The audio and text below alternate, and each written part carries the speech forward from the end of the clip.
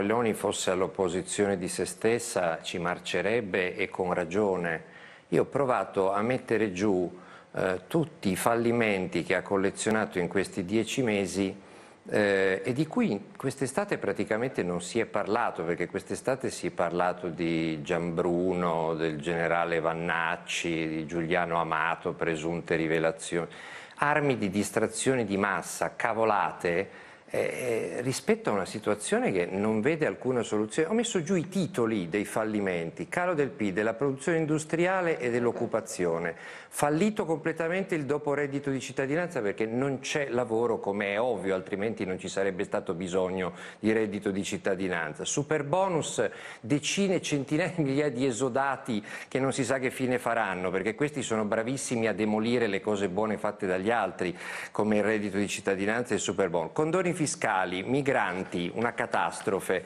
Le loro riforme, per fortuna aggiungo io, tutte incagliate, autonomia, giustizia e premierato. Patto di stabilità europeo eh, lo risolvono insultando Gentiloni, ITA pare che tornino indietro i tedeschi, PNRR non ne parliamo, l'alluvione, lo stato della sicurezza al sud, il caso Caivano che pensano di risolvere mandando in galera i ragazzini o i genitori che non li mandano a scuola, gli scandali non ne parliamo e poi il disastro della sanità, la scuola che riapre senza gli insegnanti, caro vita, caro bollette, caro accise che avevano detto che avrebbero abolito, caro benzina, caro alberghi, i turisti che espatriano in Albania con la Premier che va a fare lo spot all'Albania, cioè a un paese concorrente, il caro voli, il caro mutui e la manovra senza soldi.